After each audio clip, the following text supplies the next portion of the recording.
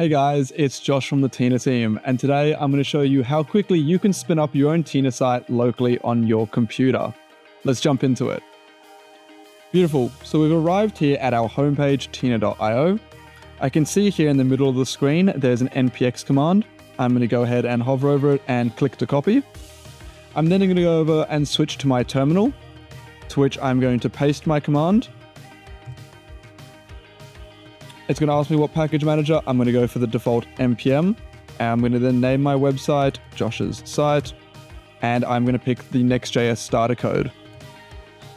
Now we're going to wait for our packages to download.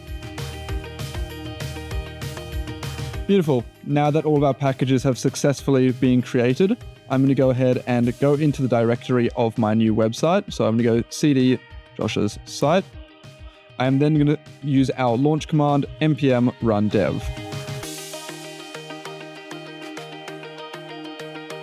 We can see here that our site is now on localhost. So I'm going to go ahead and copy this.